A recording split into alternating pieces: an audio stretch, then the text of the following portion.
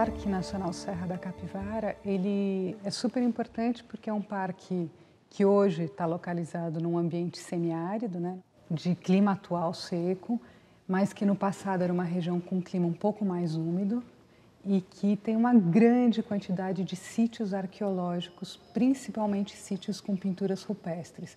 Os sítios arqueológicos são os lugares, né, onde você encontra vestígios da cultura material, que são objetos, podem ser sítios históricos, como restos de casas históricas, muros históricos, ou podem ser vestígios pré-históricos, né? como pedras lascadas, as próprias pinturas, os restos de fogueira. A gente tem uma diversidade de tipos de sítios arqueológicos aqui na região da Serra da Capivara muito interessante. Desde os sítios históricos, desde os sítios do índio que já tinha contato com o colonizador europeu, até os sítios mais antigos e sítios que podem demonstrar uma ocupação humana muito antiga para a América.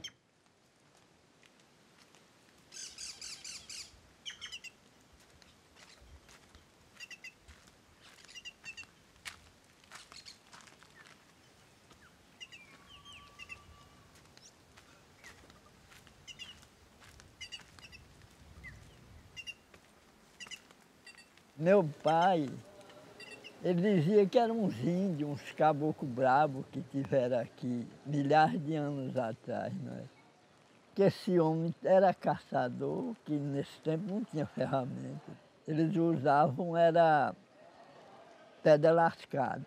E o animal que eles pegavam lá no mato, que chegava naquela toca, eles desenhavam ele, por exemplo, o, o capivara, ema, viado gaíra, que não tem mais, mas nesse tempo tinha, não era?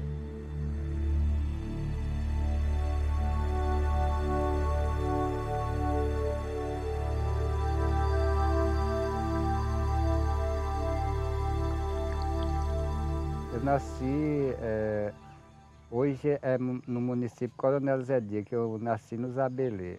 Nasci lá. Nasci, me criei, minha família já veio toda de lá. Tinha 10 anos de idade, quando eu lembro a primeira vez que eu vi as pinturas nas pedras, nas serras. A reação que eu tive não foi tanta, porque eu não tinha conhecimento daquilo, achei que aquilo podia ser qualquer uma brincadeira. Eu nunca pensei de ser uma coisa tão importante como hoje é importante aqueles garatugim nas pedras para muitos e muitos, até para os outros países fora do Brasil, aquilo é muito importante.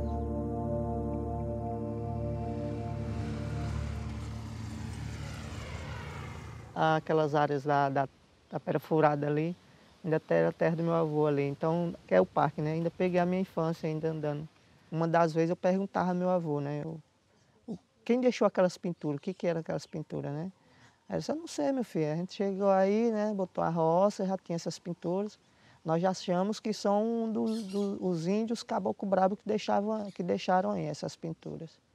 Né? Mas a gente não sabia, eu mesmo não sabia do valor que, que ela representava, né? E que era de civilizações bem atrás do, do índio que meu avô falava que era deixado por eles, né?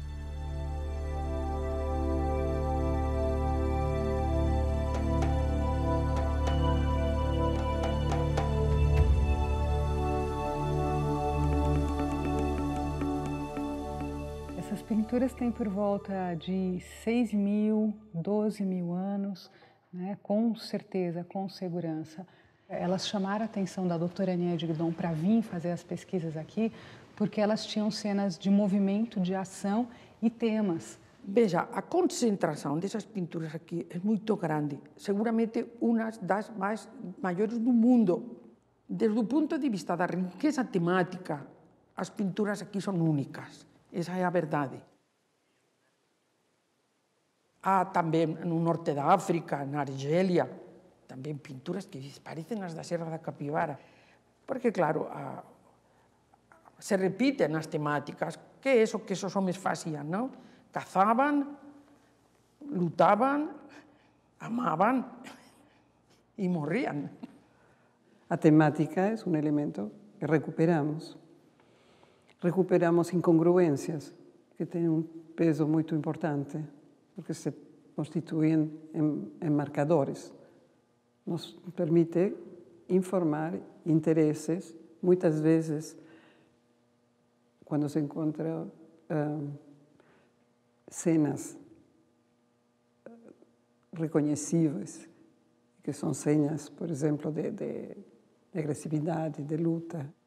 Todo isto, eh, evidentemente, nos dá informações, mas daí a poder refazer a história, não, não é possível. É possível ter uma ideia do que era importante para esses grupos humanos.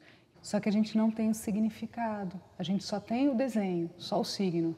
Agora, o que sim podemos fazer é estabelecer hipóteses, não? explicações tentativas e buscar a maneira que as respostas sejam o mais um, confiáveis possíveis. E como fazemos isto? Com o aporte de diversas disciplinas. Montamos uma quantidade de informações que estamos buscando juntos, ou seja, a pesquisa é construída conjuntamente. Não são atomizados e vamos juntando resultados. Não, nós trabalhamos juntos. Alors c'est une des plus riches réserves en sites préhistoriques. Ils sont très nombreux et c'est quelque chose qui est d'une richesse et d'une densité qui sont très rares, même au niveau mondial. A doutora Eniede foi trabalhar num dos sítios que é um, um sítio estrela assim, do parque, que é o Boqueirão da Pedra Furada.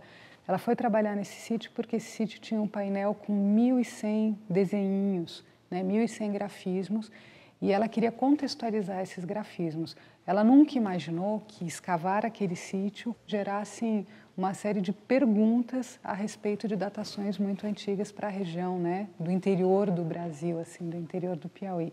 E ela acabou encontrando fogueiras, né, de 32 mil anos e fogueiras mais recentes também. Cette mission archéologique qui est la nôtre, elle est due aux premières découvertes réalisées par Niet Guidon il y a une trentaine d'années sur le site de Boquero da Pedra Forada. Elle recherchait des peintures, elle travaillait sur les peintures, et à Boquero, elle a eu la surprise du siècle, et on peut dire comme ça, car euh, la stratigraphie, euh, elle a commencé à 1 mètre, 2 mètres, 3 mètres, 4 mètres, 5 mètres. Et au fur et à mesure qu'elle descendait, elle continuait à trouver des vestiges humains. Alors là, tout de suite, il y a eu une interrogation, parce que c'est très rare de retrouver des stratigraphies longues, et cela signifie en général que l'occupation est ancienne. Les datations sont venues confirmer cette origine ancienne, puisqu'elles ont donné un âge entre 30 000 et 40 000 ans, voire plus pour certaines. Ben, c'est un travail exceptionnel qu'elle a fait. Elle a tout simplement trouvé les plus anciens de tous les Américains, de toutes les Amériques, ici. Isso daí gera uma polêmica muito grande, porque a princípio se acreditava que a ocupação da América era uma ocupação muito recente, no máximo há 20 mil anos, quando formou uma ponte de gelo lá na Beríngia, no Estreito de Bering, unindo né, a região da Ásia com a região da América. Quando a doutora Nied encontra datações mais antigas que isso, começa a ser questionada né, a teoria de povoamento da América, que seria uma região que teria sido povoada pelos grupos humanos em épocas muito recentes. Donc, quand, quand, ces données ont été euh, obtenues, elles ont provoqué un, un, émoi dans la communauté scientifique. As datações em América do Sul são mais antigas que América do Norte. São. Il était impossible de retrouver plus vieux parce que les plus vieux vestiges en Amérique du Nord étaient de l'ordre de 12 000 ans. Donc, comme on imagine qu'ils sont passés par l'Amérique du Nord et l'Amérique centrale avant d'arriver en Amérique du Sud, on ne devait pas trouver de sites plus anciens de 12 000 ans en Amérique du Sud. Et là, patatrac, 30 000, 40 000 ans. Aí começa a se tentar verificar né, a, a questão das idades, das possíveis rotas né, de deslocamento desses grupos humanos para a região da América. E aí as pesquisas daqui vão indicar que realmente Bering há 20 mil anos foi sim né, uma ponte biogeográfica de deslocamento desses grupos humanos, mas que né, muito provavelmente não foi a única ponte nem num único período. E aí começa a se questionar né, onde é que estariam os sítios mais antigos da América, porque ele não pode estar no meio do Piauí, né? Os grupos humanos têm que ter se deslocado de algum lugar, norte, sul, leste, oeste, para chegar até a região do interior do Piauí.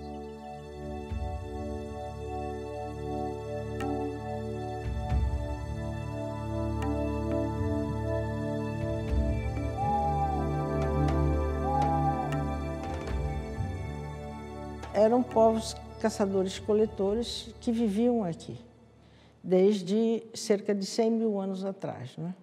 Agora, esses primeiros grupos eram muito pequenos e, como é uma região onde a, o clima era muito úmido e muito quente, nós quase não temos restos humanos muito antigos. Nós temos mais de mil sítios, dos quais mais de 900 com pinturas rupestres, né? Então, isso permite um estudo detalhado de toda a parte da tecnologia, do lascamento das pedras, o aparecimento da cerâmica e como eles foram evoluindo tecnologicamente durante todo este tempo. Não é? Agora, estamos fazendo pesquisas de DNA para ver se conseguimos definir a origem desses homens, mas tudo indica que eles vieram da África, porque há cerca de 130 mil anos a África passou por um período de seca muito grande e as pessoas saíam para o mar para procurar comida. E os ventos e as correntes trazem aqui para o norte, para a região de Parnaíba. Existem correntes que chegam aí, existem correntes que chegam no litoral da Bahia, trazendo da África para cá. Né?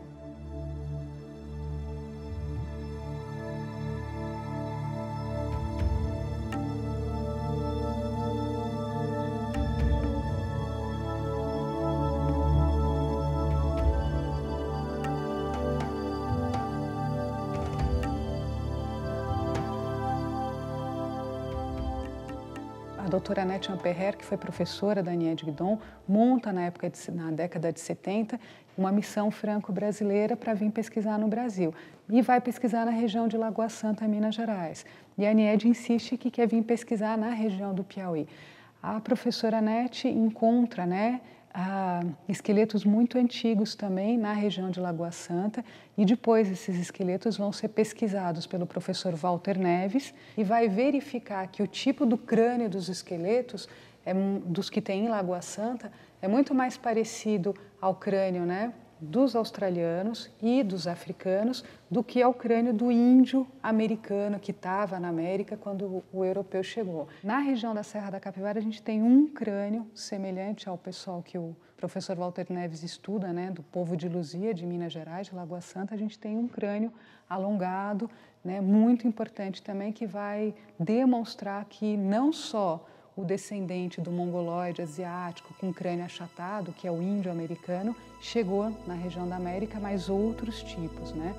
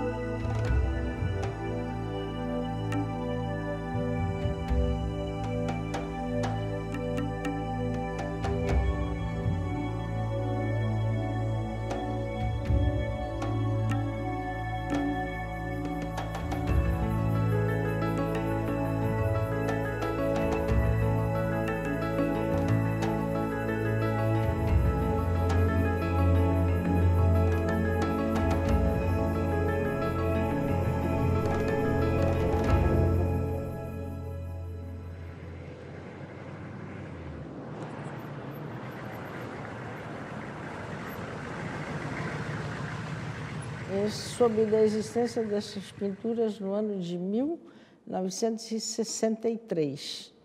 Na ocasião, eu trabalhava no Museu do Ipiranga, em São Paulo, da USP, e fiz, organizamos uma exposição sobre pinturas rupestres. Me tornei prefeito da cidade logo ainda jovem, com 28 anos, e, e, recebi, um dia recebi um, um, um, memorando do Museu Paulista, né?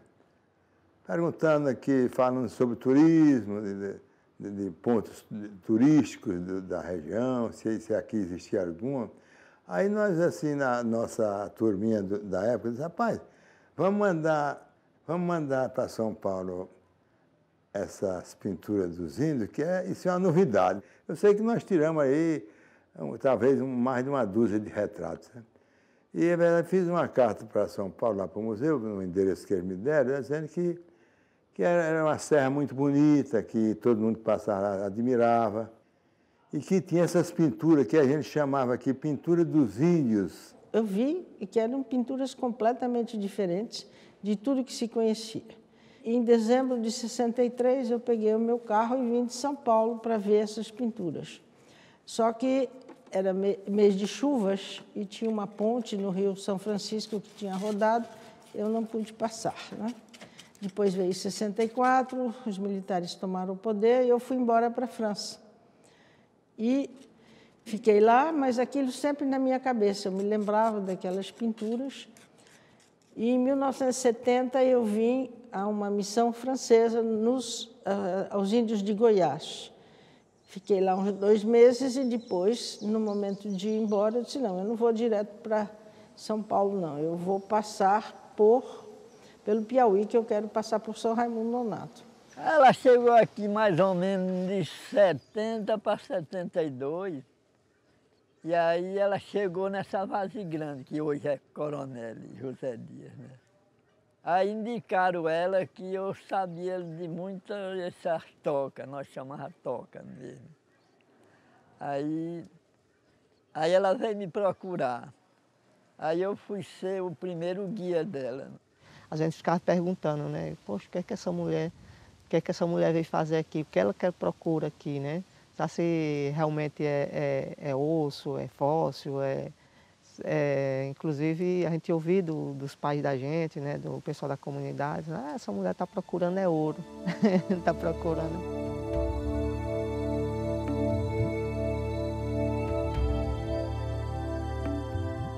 Bom, esse processo né, de, de pesquisa, criação do Parque Nacional já tem praticamente 40 anos. É, quando foi criado o parque, quer dizer que o Zabelê ficou sendo o coração do parque.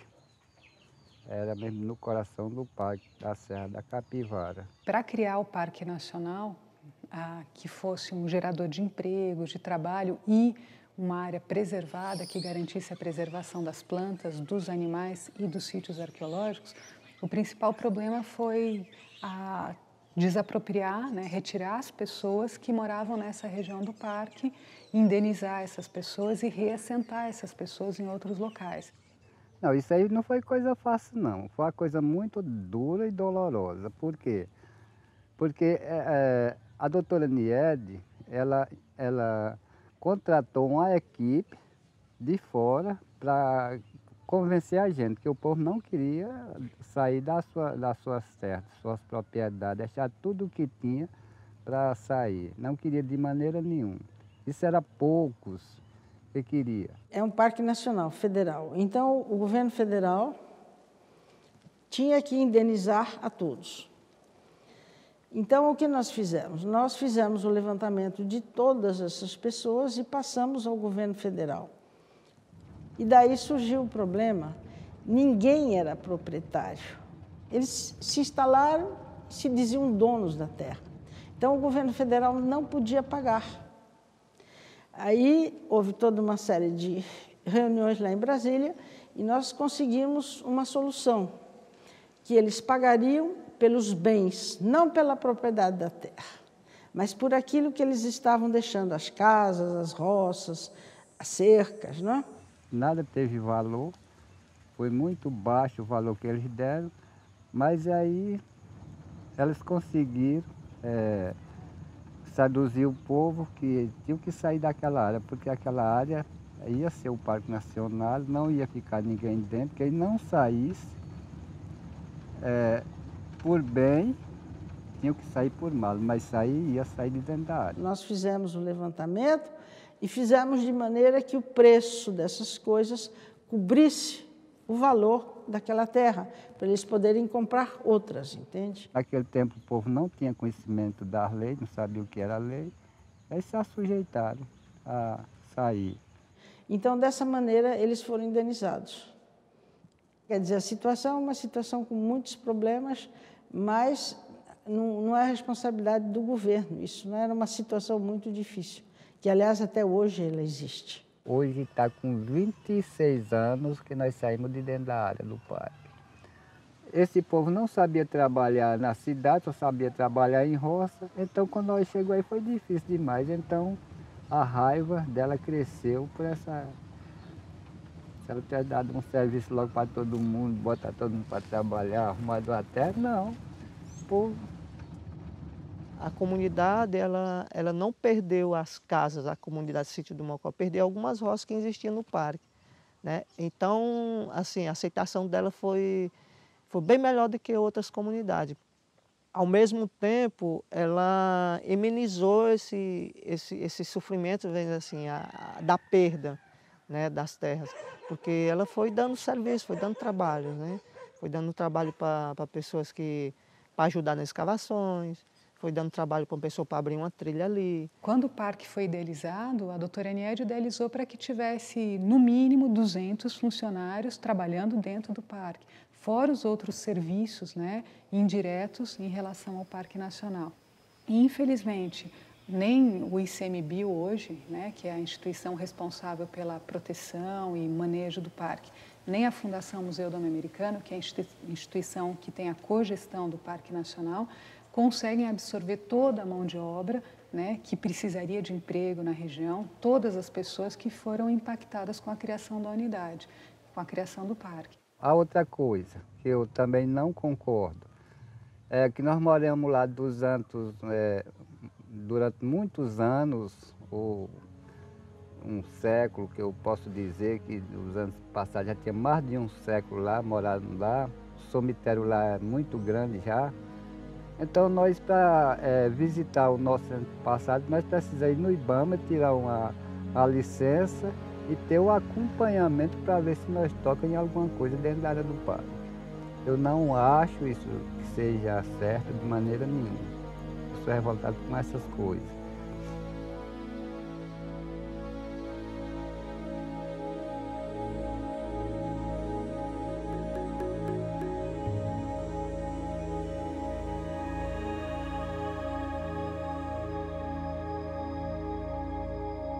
Como o parque né, foi criado em 1979, então a gente já tem praticamente três gerações. Né? A geração de pessoas que têm por volta de 70 anos hoje, que tiveram que sair da área do parque né, e sofreram diretamente o problema da desapropriação, da demora de indenização e tudo mais. E essas pessoas, elas têm normalmente uma certa mágoa, os filhos destas pessoas que foram desapropriados, que de certa forma se sentem ah, lesados em relação à herança, né, em relação ao que era para ser meu. Mas a gente tem uma outra geração, que já é a geração dos netos destas pessoas, que de formas diretas ou indiretas já estão vinculados à existência do parque. Já vem o parque com uma coisa mais a, a, a benéfica, né? com uma coisa que realmente trouxe benefícios para a maioria da população, além de preservar o patrimônio.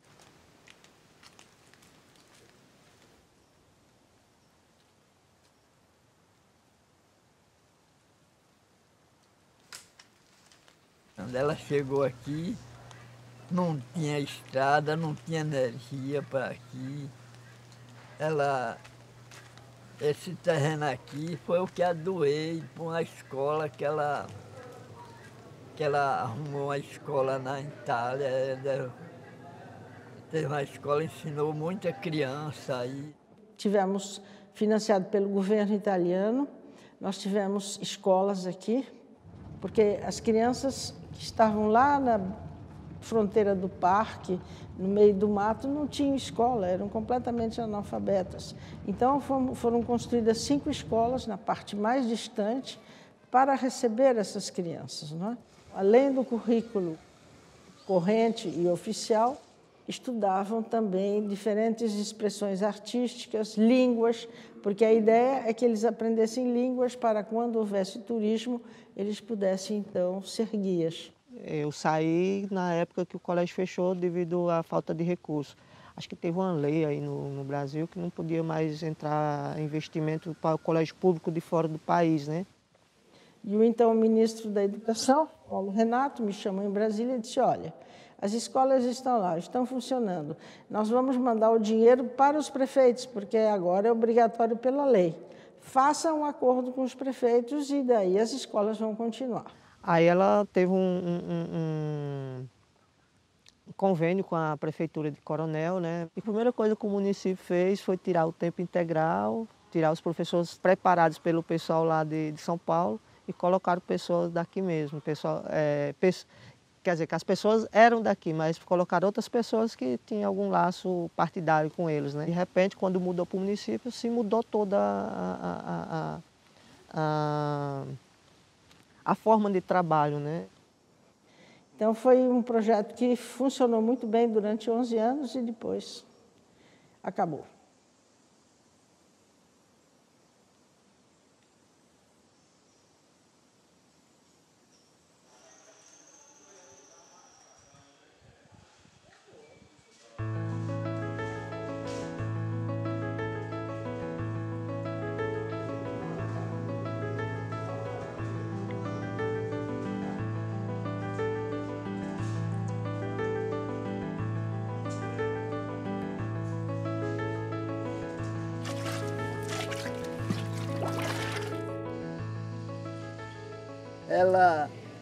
Ela sempre dizia que nós aqui, nós tínhamos com que nós viver. Nós é quem não sabe aproveitar uma cerâmica dessa. Nós não, não tínhamos condições de, de formar uma cerâmica dessa. A cerâmica, nós tivemos o apoio do Banco Interamericano, nós trouxemos um professor da Itália, um do Japão, ensinaram as pessoas daqui a fazer essa cerâmica e depois, então, quando começou a funcionar bem e a se transformar em algo comercial, nós então passamos para uma pessoa que é hoje a proprietária da cerâmica que explora aquilo, é? dentro das mesmas bases que nós tínhamos. Ela ajudou muito o pessoal e, e vive ajudando, porque tem talvez umas 300 pessoas mais dentro do parque, tudo ganhando dinheiro por causa dela.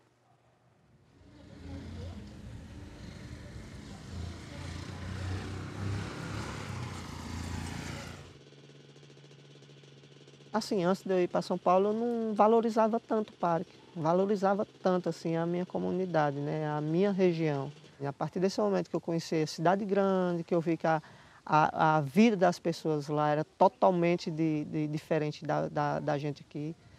Vida bem mais estressante, mais corrida, né? Eu vim mesmo e peguei com dentes o parque, né? E me passaram para vigilante, fui fazer o curso de formação de vigilante.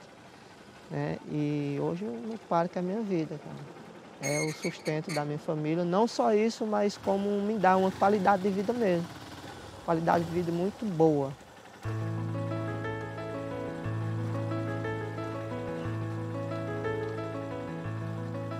Em 91, face a tudo o que havia sido descoberto, as datações dessas pinturas e tudo, a Unesco declarou o parque um patrimônio da humanidade.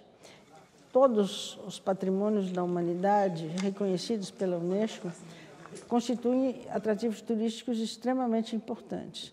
E o que nós estamos procurando desenvolver aqui, desde que o Banco Interamericano fez um estudo sobre a questão econômica da região, como fazer para obter o desenvolvimento econômico e social.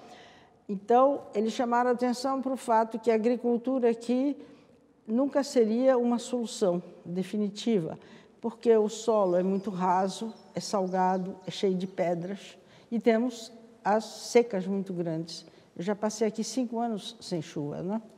Então, eles recomendaram que se investisse no turismo, porque nós temos um patrimônio arqueológico fantástico e temos também a paisagem, que é belíssima. Né?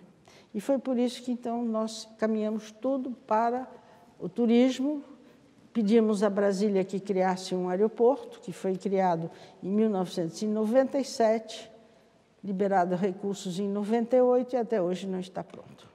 Muitas pessoas da comunidade estão conseguindo enxergar né, coisa que Nied Guidon chegou ou, ou falou no, no início da década de 80. O turismo ia trazer tanto a geração de renda, né, de manutenção do parque, tudo, ele ia gerar renda, né, como o turismo ia trazer benefícios e, e continuar essa geração de renda. Né?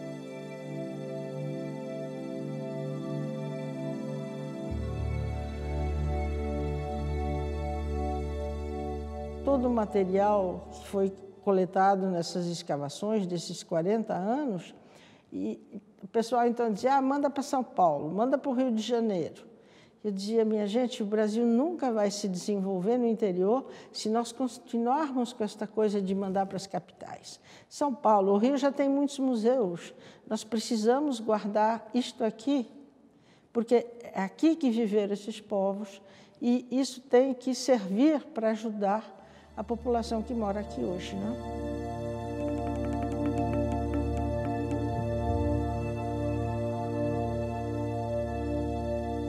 o trabalho, os empregos, nós sempre demos para pessoas aqui da região. Né? E, inclusive, eh, antigamente, os pesquisadores vinham todos de São Paulo, de Pernambuco, de outros estados. Agora nós temos aqui Universidade Federal do Vale do São Francisco, que está formando pessoas. Há um pouco mais de oito anos atrás foi criada uma graduação de arqueologia, mas o que é interessante aqui é que a gente tem um curso de arqueologia da Univasf numa região que tem um potencial arqueológico fantástico e o que permite principalmente formar pessoas que moram aqui, tanto na região de São Raimundo Nonato, Coronel José Dias, como em outras cidades próximas né, do, do entorno do Parque Nacional. Eu imagino os meus filhos, né, é, tendo uma formação que venha trabalhar do parque, né? porque tem, o parque ele é multidisciplinar, tem várias formas de se trabalhar, né? ter, eles, ter, eles ter, terminar a, a universidade. Eu acredito que hoje a maior parte da população enxerga o Parque Nacional Serra da Capivara, a Fundação Museu Dom Americano, como a, a instituições né, extremamente importantes para as pessoas, para a região né, do semiárido do Piauí.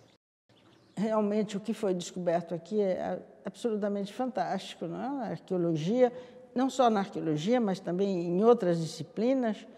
Todos os pesquisadores que vêm aqui, botânicos, zoólogos, descobrem espécies novas. Então, realmente, o, o resultado científico é muito grande. C'est un parc qui a préservé plus de 1500 sites archéologiques. Et en cela, c'est quelque chose d'exceptionnel sur un plan du patrimoine, conservation du patrimoine et des recherches. Há uma responsabilidade muito grande em, em relação à, à preservação desse patrimônio e dessa, e dessa pré-história, porque Brasil é um dos poucos países do mundo que tem ainda populações vivas que são os descendentes directos da, das populações indígenas que os portugueses encontraram quando chegaram aqui. Se eu tivesse que dizer que, que é o mais importante deste, é que temos aqui criado um centro de excelência e temos integrado a estudantes que senão não teriam teriam feito sua vida diferentemente, mas que hoje já podem, podem esperar tudo. C'est un métier de passionné. Et on ne le réussit pas quand on n'est pas passionné. Agora tem os jovens que têm que ficar no meu lugar, não é? Eu acho que eu já briguei bastante. Agora eu preciso me acalmar.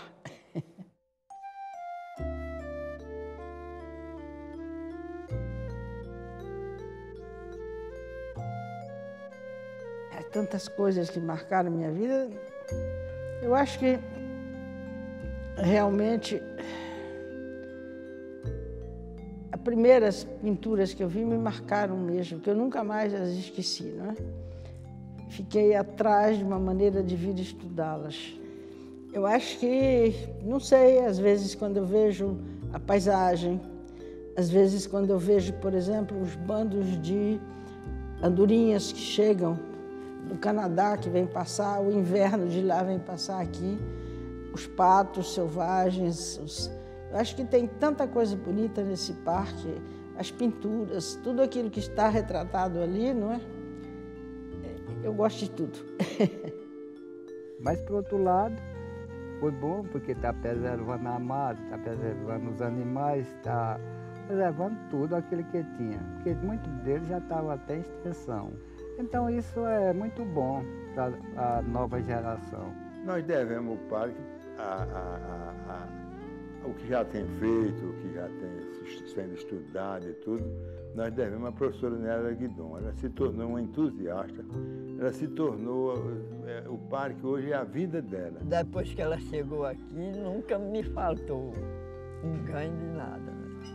Porque sempre, eu ainda hoje, ela, ainda hoje eu faço caminhada para ela, que ela sempre ela gosta de dizer que eu sou o guia dos pesquisadores. O, o, o avaliamento que eu é, faço com a doutora Niede, é, eu, eu sempre digo, a mulher é muito corajosa, muito trabalhadora, ela tem uma. Ela, ela tem assim uma. uma ela, ela, ela, é uma pessoa que ela, ela sonha muito alto, ela é uma pessoa que enxerga muito distante então, eu, eu mesmo, da minha parte, eu dou 10 para ela. Porque ela é batalhadora.